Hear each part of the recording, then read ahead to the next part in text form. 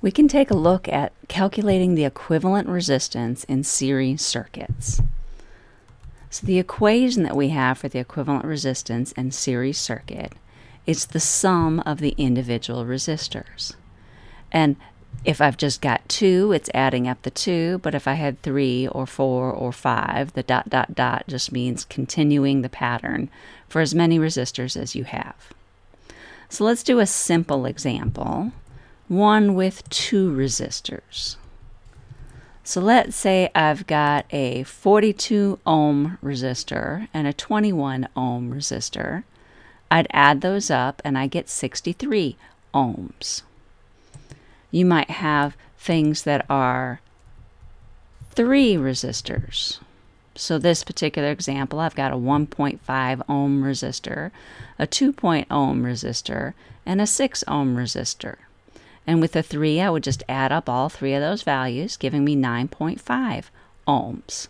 And the unit here is ohms, and that's the capital omega symbol.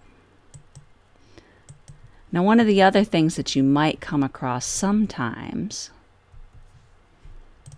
is a situation where instead of being given the individual resistances and finding the equivalent resistance, maybe you've been given an equivalent resistance value and one of the two. So maybe in this case R2.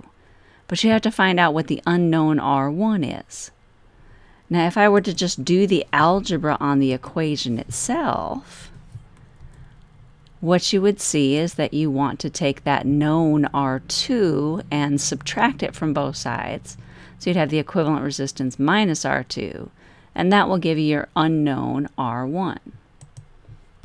For this particular example that I've got here, that means you take your 3.2 ohms, subtract it over to the other side, and that would give you your R1.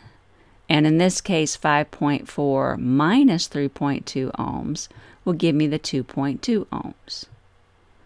Now you can always double check your calculations here because you could take this and put it back into the original form.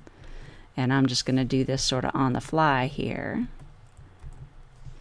And if I was going to rearrange this equation, I'd have my 3.2 ohms, and that's going to go back over here, but be added on this side. And that should add up to give me the equivalent resistance I know I was supposed to get. So in this case, the unknown resistance would have had to be 2.2 ohms in order for it and the known 3.2 ohms to add up to give you that equivalent resistance. So again, just like any equation, it can be rearranged to solve for an unknown. But in the series circuits, it's really quite straightforward in terms of that the individual resistances just add up to give us our overall equivalent resistance. These are just a few example calculations that I went through kind of quickly, but rewatch it if you need to and ask me questions.